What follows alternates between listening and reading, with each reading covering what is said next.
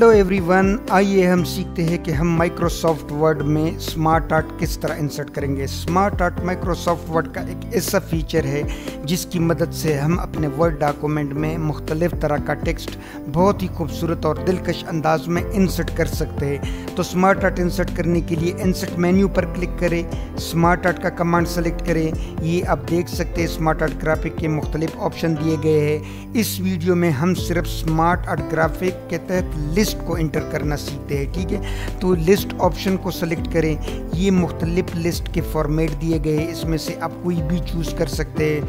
Suppose मैं ये choose करता हूँ स्क्वायर एक्सेंट लिस्ट जिसको कहते हैं, ठीक है? मैं इसको सेलेक्ट करूँगा और ओके प्रेस करूँगा।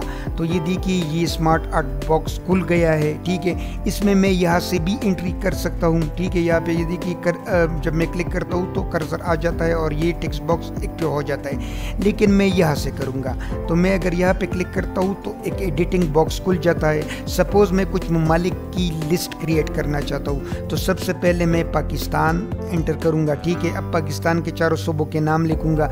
लेकिन ठहरिए मुझे यहाँ पे सिर्फ़ प्रेस करना पड़ेगा डॉन एरो, क्योंकि मेरे पास ऑलरेडी पाकिस्तान के टेक्स्ट बॉक्स के डिमोटेड तीन टेक्स्ट बॉक्स है, ठीक है? तो मैं पाकिस्तान के तीन सूबों के नाम लिख सकता हूँ। तो कर्जर नीचे लाने के लिए मुझे इंटर प्रेस नहीं करना पड़ेगा, बल्कि मैं डॉन एरो एक बार प्रेस करूँगा।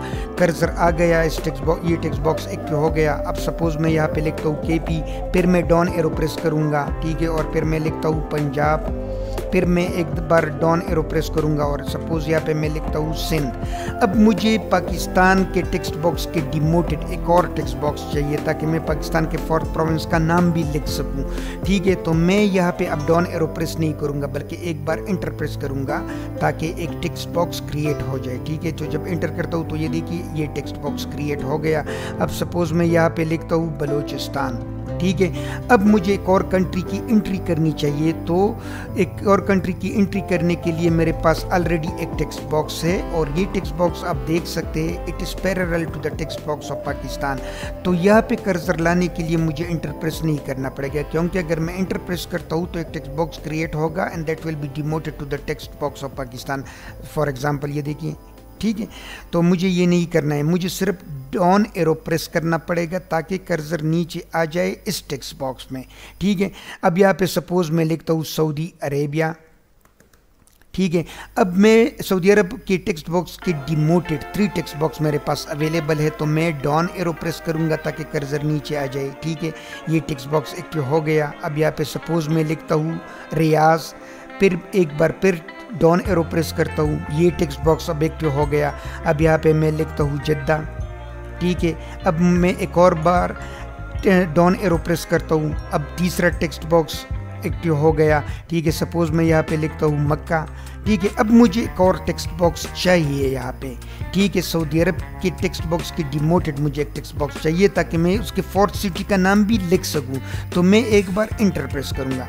जब इंटर प्रेस करता हूँ तो ये देखिए टेक्स्ट बॉक्स क्रिएट हो गया। ठीक है, यहाँ पे सपोज़ मैं लिखता हूँ मदीना ठीक है, अब मैं एक बार इंटर प्रेस करूँगा ताकि एक नया टेक्स्ट बॉक्स क्रिएट हो जाए। ठीक है, जब इंटर प्रेस करता हूँ तो टेक्स्ट बॉक्स तो क्रिएट हो जाता है, लेकिन this text box is to demoted to the text box of Saudi Arabia जबकि मुझे एक और मुल्क की एंट्री करनी है तो मुझे एक प्रमोटेड टेक्स्ट बॉक्स चाहिए। तो इस टेक्स्ट बॉक्स को प्रमोट करने के लिए मैं सिर्फ़ एक बार बैक स्पेस प्रेस करता हूँ, ठीक है? जब मैं बैक स्पेस प्रेस करता हूँ तो आप देख सकते हैं ये टेक्स्ट बॉक्स यहाँ पे क्रिएट हो गया। In this text box is equal and parallel to the text box of Saudi Arabia and Pakistan तो सपोज़ मैं यहाँ पे एंट्री करता हूँ यू ठीक है? अब मैं एक बार एंटर प्रेस करूँगा ताकि एक टेक्स्ट बॉक्स क्रिएट हो जाए। लेकिन ये टेक्स्ट बॉक्स मुझे चाहिए demoted to the text box of U तो मैं एक बार टेप की प्रेस करूँगा, ठीक है? तो अब टेक्स्ट बॉक्स क्रिएट हो गया। सपोज़ मैं यहाँ पे लिखता हूँ शारजा ठीक है? एक नया टेक्स्ट बॉक्स मुझे चाहिए। इंटर करता हूँ। This text box is already demoted to the text box of UAE तो यहाँ पे मैं डायरेक्ट एंट्री करूँगा। सपोज़ मैं लिखता हूँ दुबई ठीक है? एक बार फिर मैं इन, इंटर प्रेस करता हूँ ताकि एक नया टेक्स्ट बॉक्स क्रिएट हो जाए। और सपोज़ मैं लिखता हूँ अबू जबी ठीक है? अब मैं इंटर प्रेस करता हूँ। लेकिन बस मुझे मुझे सिर्फ़ यूएई के इन तीन सिटीज़ के नाम लिखने थे या स्टेट्स के नाम लिखने थे। ठीक है अब मैं मुझे एक और लिस्ट क्रिएट करनी है और वो यूएसए और उनकी आ, उनकी जो सिटीज़ है उनकी।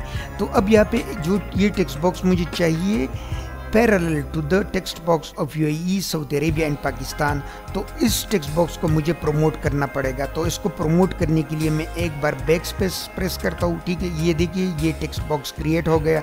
सपोज़ मैं यहाँ पे लिखता हूँ यू अब मैं यूएसए की जो सिटीज़ है, उनके नाम लिखूँगा तो मुझे कुछ नए टेक्स्ट बॉक्स चाहिए तो इंटर प्रेस करता हूँ, लेकिन ये टेक्स्ट बॉक्स मुझे चाहिए demoted to the text box of USA तो मैं एक बार टैप प्रेस करता हूँ तो ये टेक्स्ट बॉक्स क्रिएट हो जाता है और डिमोट भी हो जाता है to the text box of USA तो सपोज़ मैं यहाँ पर लिखता हूँ न्यूयॉर्क ठीक है?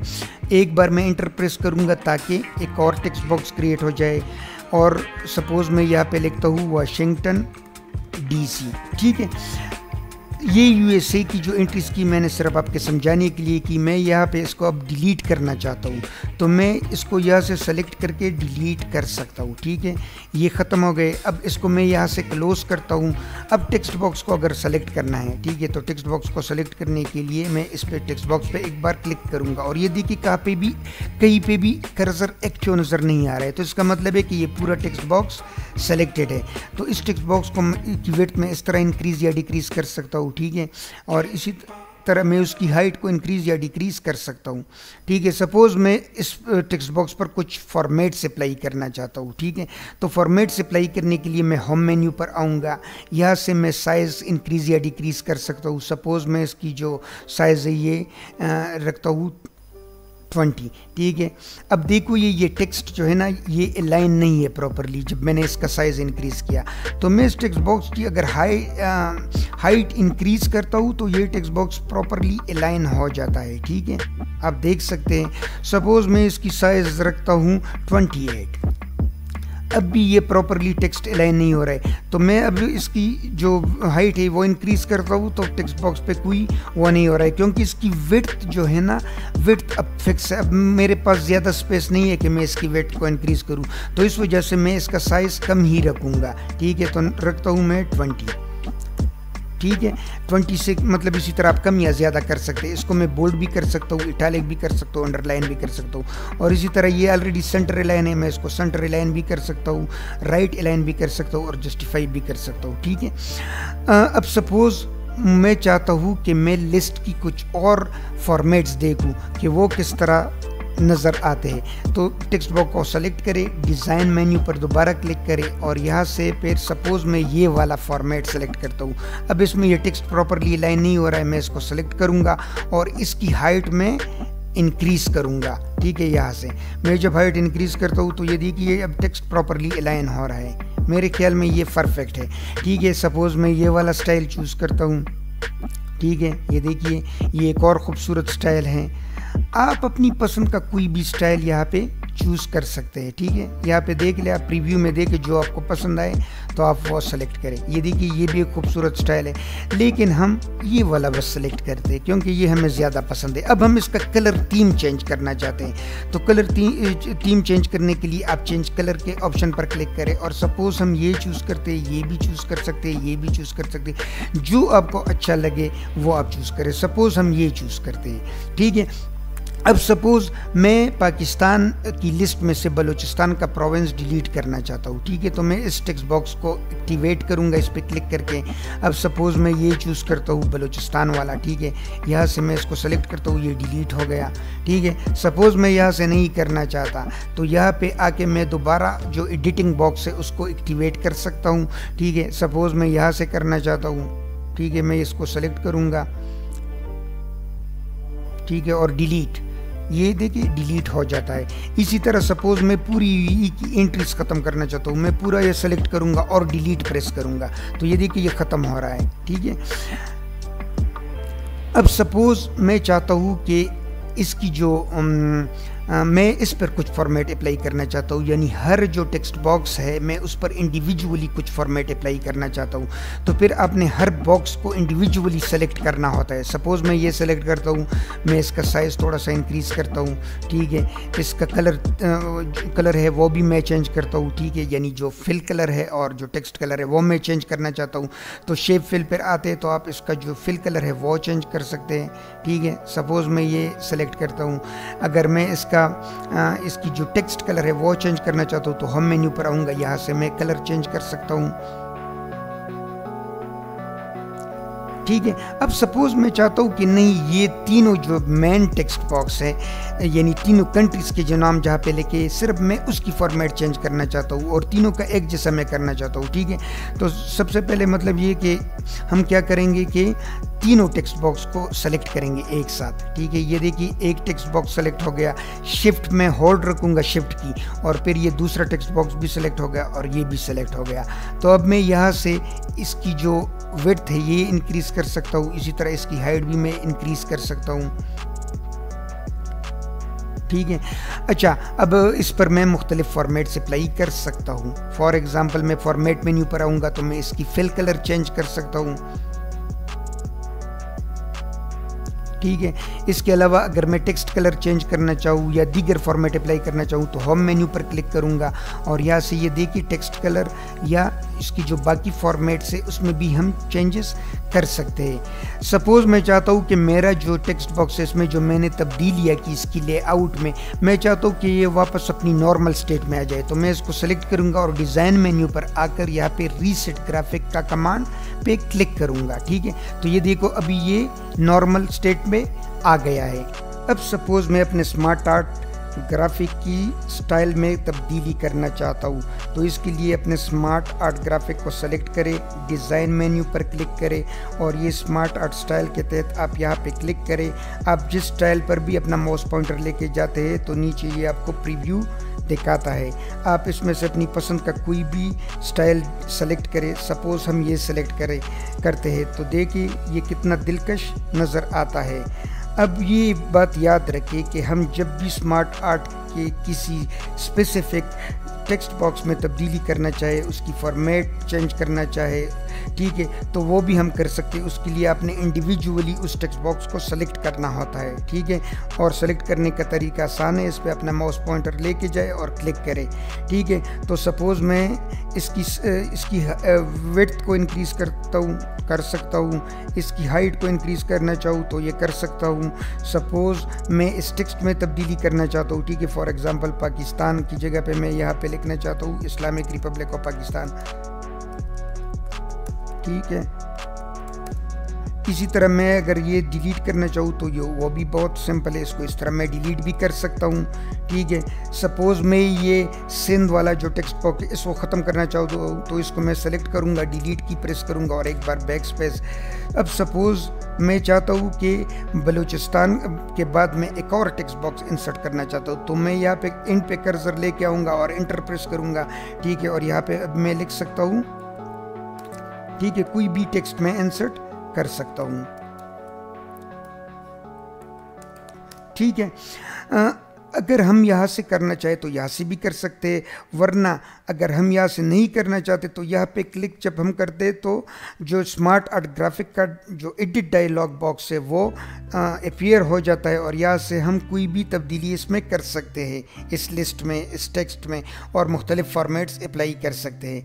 ठीक है, अब सपोज़ मैं चाहता हूँ कि मैं ये ये थ्री जो, ये तीन जो टेक्स्ट बॉक्स है, पाकिस्तान, सऊदी अरबिया और ये तो मैं इन तीनों पर अलग अलग कुछ फॉर्मेट से अप्लाई करना चाहता हूँ। ठीक है? मतलब इन तीनों पर एक जैसे फॉर्मेट से अप्लाई करना चाहता हूँ। तो मैं इन तीनों को एक साथ सेलेक्ट करूँगा।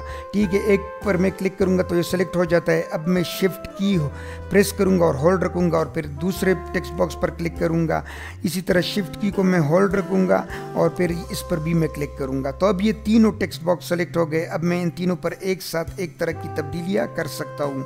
ठीक है? यदि कि मैं इन तीनों का साइज़ इंक्रीज़ कर रहा हूँ। इनका वेट भी मैं इंक्रीज़ कर सकता हूँ, ठीक है? आप देख सकते हैं और इसी तरह इसका फिल कलर भी मैं चेंज कर सकता हूँ इन तीनों का। सपोज़ मैं इसका फिल कलर ये करता हूँ, ठीक है? आप देख सकते हैं, ठीक है? फॉर एग्ज़ाम्पल मैं टेक्स्ट साइज़ इंक्रीज़ करना चाहता हूँ ठीक है तो ट्वेंटी में रखना चाहता हूँ। इसको मैं बोल्ड भी करना चाहता हूँ इटालिक भी करना चाहता हूँ अंडरलाइन तो ये देखिए, जो तीन टेक्स्ट बॉक्स सेलेक्टेड है, सिर्फ़ उसी पर ये तमाम फॉर्मेट्स अप्लाई हो रहे हैं। ये चेंजेस अप्लाई हो रही है। अब सपोज़ मैं चाहता हूँ कि स्मार्ट आर्ट ग्राफिक में तीनों ममालिक के साथ साथ उनके फ्लैग्स भी डिस्प्ले हो जाए। तो सबसे पहले मैं डिज़ाइन मेन्यू पर क्लिक करूँगा और लेआउट मेन्यू के तहत फिर मैं यहाँ पे क्लिक करूँगा। ठीक है तो यहाँ पे ये देखिए मुख्तलिफ़ जो स्मार्ट आर्ट ग्राफिक के लेआउट्स है, वो अवेलेबल है। मैं मोर लेआउट्स पर क्लिक करूँगा और इसमें से पिक्चर वाला कोई भी लेआउट सेलेक्ट करूँगा। सपोज़ मैं ये वाला करता हूँ। ये देखिए पिक्चर स्ट्रिप्स ठीक है मैं इस पर क्लिक करता हूँ, ठीक है। मैं इसके बीच थोड़ी सी सेटिंग भी करता हूँ, क्योंकि ये टेक्स्ट जो है अभी प्रॉपरली अलाइन नहीं है। मैं इस टेक्स्ट की साइज़ थोड़ी सी कम करता हूँ फोर्टीन रखता हूँ सपोज़ ठीक है। इसी तरह मैं यहाँ से भी इस तरह इसमें, देखिए, मैं जब इसको इस तरह इसकी हाइट में इजाफा कर रहा हूँ तो इसके साथ ये टेक्स्ट भी रीअलाइन हो रहा है। अब यहाँ पे अगर मैं क्लिक करता हूँ तो मैं पाकिस्तान के फ्लैग को इंसर्ट कर सकता हूँ। इस पर मैं क्लिक करूँगा, ठीक है? फिर ब्राउज यानी फ्रॉम अ फ़ाइल क्योंकि मेरा फ़ाइल डेस्कटॉप पर अवेलेबल है, वहाँ से मैं इस पिक्चर को इंसर्ट करूँगा। ब्राउज पे क्लिक करता हूँ डेस्कटॉप पे अपने फ़ाइल को लोकेट करता हूँ, ठीक है? मैंने उसको नाम दिया है, पाकिस्तान फ्लैग ठीक है, ये देखिए, पाकिस्तान का फ्लैग है। सो, अब सऊदी अरब का फ्लैग इंसर्ट करना चाहता हूँ तो यहाँ पे क्लिक करूँगा, ठीक है? ब्राउज करूँगा। डेस्कटॉप पर सऊदी अरब के फ्लैग को लोकेट करूँगा।